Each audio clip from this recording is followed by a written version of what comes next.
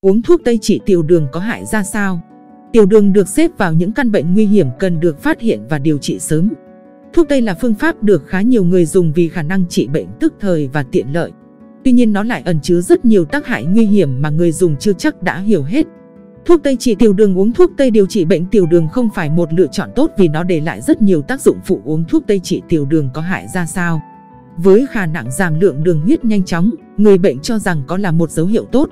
Tuy nhiên thuốc tây chỉ có tác dụng làm giảm lượng đường huyết cho bạn trong một khoảng thời gian nhất định. Nghĩa là khi bạn uống thì nó giảm xuống ổn định nhưng bạn không uống nó lại lên cao bất ngờ. Hơn nữa nó có thể để lại rất nhiều tác dụng phụ không mong muốn và người bệnh phải lệ thuộc vào thuốc cả đời. Nếu dừng lại sẽ đối mặt với rất nhiều các nguy cơ đe dọa tính mạng. Dưới đây là những vấn đề bạn có thể gặp phải khi uống thuốc Tây. Thăng hạ đường huyết đột ngột uống thuốc tiểu đường với mong muốn hạ đường huyết nên khi thấy dấu hiệu chuyển biến tích cực của lượng đường trong máu bạn sẽ rất vui.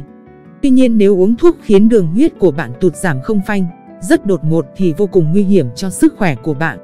Thuốc Tây trị tiểu đường tác dụng phụ mà thuốc Tây để lại có thể là lờn thuốc, hạ huyết áp đột ngột và trường hợp nặng xấu nhất có thể dẫn đến tử vong khi bị hạ đường huyết.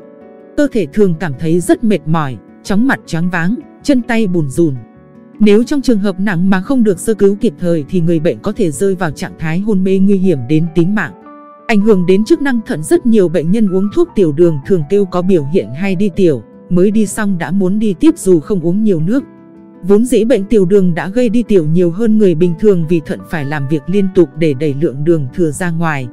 Mặt khác đường huyết tăng cao cũng khiến chức năng của thận bị suy giảm nên số lần đi tiểu tăng lên. Ngoài ra, uống thuốc tây trong thời gian lâu dài cũng gây tổn thương lên thận, khiến thận phải hoạt động hết công suất để thực hiện quá trình đào thải các chất độc hại và dư thừa ra khỏi cơ thể. Khả năng bị lờn thuốc chắc chắn một vấn đề không thể tránh khỏi chính là bạn sẽ bị lờn thuốc sau một quá trình sử dụng thuốc nhất định. Sự thay đổi bạn sẽ nhận ra chính là liều thuốc bạn dùng sẽ phải tăng dần lên ngày càng nhiều hoặc bạn sẽ phải đổi thuốc liên tục. Nếu không đổi bạn sẽ chẳng thấy tác dụng của nó nữa. Vậy cần làm gì để ngăn ngừa tình trạng đường huyết mách bản những lưu ý dưới đây? Không cần dùng thuốc tây nhưng bệnh tiểu đường của bạn vẫn có thể DEO 75C kiểm soát. Sử dụng thuốc đông y, thuốc đông có khả năng giúp bạn điều trị bệnh hiệu quả và không để lại tác dụng phụ thuốc đông y không mang lại tác dụng nhanh chóng như thuốc tây nhưng sử dụng kiên trì sẽ mang lại hiệu quả tốt. Đặc biệt thuốc đông ti có chiết xuất từ thảo mộc thiên nhiên nên không để lại tác dụng phụ cho dù có sử dụng lâu dài. Thêm một điểm cộng của thuốc là bạn chỉ cần dùng liều ổn định chứ không tăng liều như thuốc tây. Vì vậy hãy quyết định thật kỹ để lựa chọn cho mình một loại thuốc phù hợp nhất. Ăn uống lành mạnh chế độ ăn uống quyết định rất lớn đến việc điều trị bệnh. Người tiểu đường nên ăn uống theo một thực đơn khoa học nhiều rau xanh và hạn chế chất được ngọt và dầu mỡ.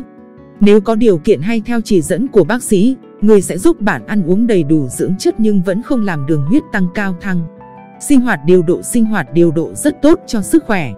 Bằng cách ngủ nghỉ hợp lý, siêng tập thể dục kết hợp giữ tinh thần ổn định, không căng thẳng thì chẳng mấy chốc sức khỏe được nâng cao và bệnh tình cũng được thuyên giảm. Gạo nứt chính là khắc tinh của tiểu đường. Bạn nào muốn trị nhanh gọn tiểu đường tham khảo thêm phương pháp thực dưỡng.